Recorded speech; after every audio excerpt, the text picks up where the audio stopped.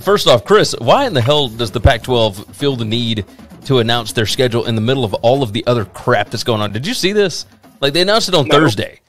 Like their their college football schedule, they they could totally make an event out of this. Like at least some sort of an event. And and instead they just announced it like the day after signing day. I do not understand this crap. Like this is why college football cannot get out of their own way.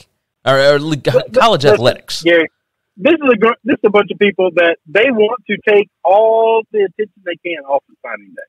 And so, not all of them, obviously. Some of them had pretty good classes, but for the most part, the Pac-12 and the Power Five, mm, not not faring as well as the rest of the country. No, I mean, I, I do suppose that you've got a point there. I'm just, it just doesn't make any sense to me. Of course, the uh, the Big Ten, I think, announced like a couple of weeks ago. It's like, uh, guys, just uh, wait until winter when we're all begging for something to talk about. Like, come on. There's a way to set up this college football calendar, and and nobody pays attention to it. Everybody just does whatever the hell they want to do. Yeah.